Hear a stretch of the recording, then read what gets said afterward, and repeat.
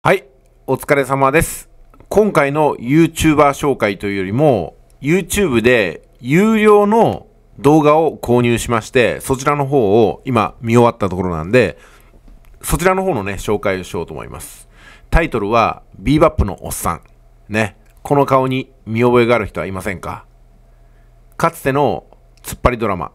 ビーバップハイスクールの上等のテルと、そして加藤博士愛徳ですね。まあ当時はね、ビーバップハイスクールで、まあいろんな突っ張りたちを束ねる存在として、愛徳の仲間を通ると、そして加藤博っていうね、二人組がコンビを組んでいたんですけども、あれからね、愛徳その他、あー上等その他、突っ張りの面々が卒業して、社会に散らばっていって、おおむね30年後のオマージュ作品ということで、オリジナルで作られました。多分ね、事の成り立ちは、この上等のテルさんがですね、YouTuber としてテルチャンネルっていうのを始めて、ビーバップハイスクールの思い出話をたくさんする中で、加藤さんをゲストに迎えて、加藤さんと一緒に何かプロジェクトを始めようかっていうところで、今回の自費制作の映画になったんじゃないかなと思います。多分自費制作ですよね。でね、こちらの映画、直江さんって言って、あの、加藤勝も出てるんですよ。金八先生の腐ったみかんの。その他ね、オマージュというオマージュが詰め込まれていて、金八先生とかね、ヤヌスの鏡とかね、そう、小沢ぬ、ぬむ、何？大沼由美も出てるんですよ。大沼由美。え、杉浦みゆきさんですよね。まあ、とにかくね、当時テレビにかじりついて突っ張り物を見ていた私たちロスジェネ世代にとってみたら、まあね、お土産満載の作品になってますよ。しかも、あの、菊、立花の菊永もね、間接的に出てくるんですよね。まあ、ご存知のように、当時の立花の菊林は、現実世界では51歳でお亡くなりになっちゃったんですよ。随分早い、まあ、あの、お別れだったんですけども、なんかね、あれから、時間が過ぎて、この作品に出てもらえる人、出てもらえなかった人、いろいろあったと思いますけども、私たちファンの思いを組んでですね、きちんとその存在を匂わすように、いろんなところでね、オマージュのセリフとか、シチュエーションとか、やりとりが出てきますんで、絶対に楽しめると思います。ただし、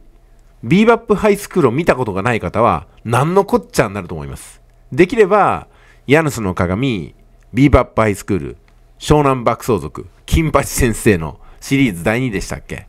この辺りを見た人は、レンタルでもいいんでね、見ていただければと思います。まあ私もレンタルで見たんですけどもね。例えば、ちょっとね、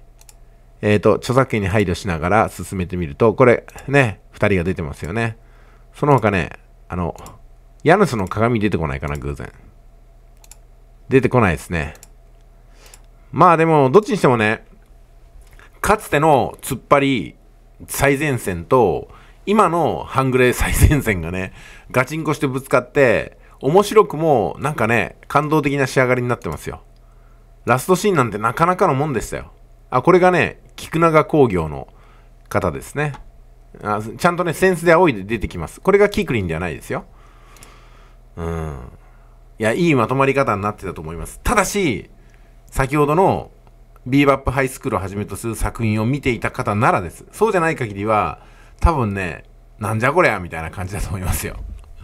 私としてはとってもテンポよく進んで、話もわかりやすいですし、それからね、続編を匂わせる内容、ラストシーンになっていたのも良かったかなと思います。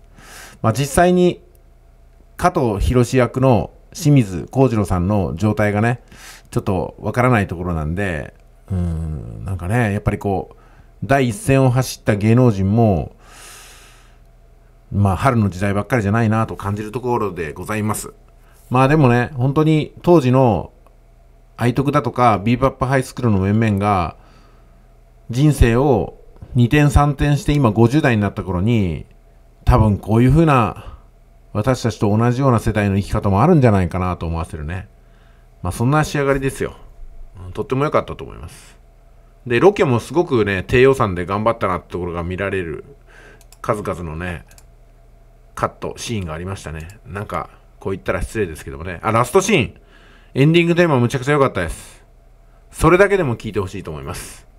ビーバップのおっさん。とにかくね、ちょっと言葉足らずでしたけども、とにかく見てくれと言わんばかりでございます。はい、それではね、ボンタン狩り、いってらっしゃい。